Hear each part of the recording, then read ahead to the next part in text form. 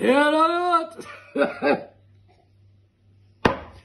Le gouvernement, des menteurs, des menteurs. Eh, on va dépister les gens, ils disent, mais il faut du temps.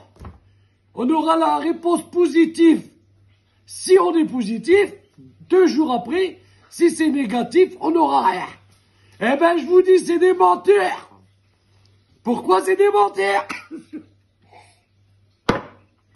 Je suis parti en lance en voiture. Les gendarmes, ils m'ont arrêté. Ils m'ont fait un test.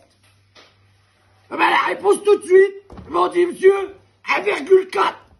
1,4, monsieur. Il m'a dit, vous allez laisser votre permis. Ah, je dis, quand c'est comme ça, il faut laisser le permis.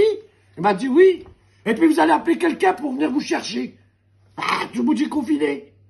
Bah, je suis rentré à pied, mais avant de partir, je lui dis, monsieur, c'est quoi 1,4 Il m'a dit 1,4 d'alcool dans le sang. Ben, j'ai eu la réponse tout de suite. Donc, pourquoi ils mentent Pourquoi c'est des menteurs?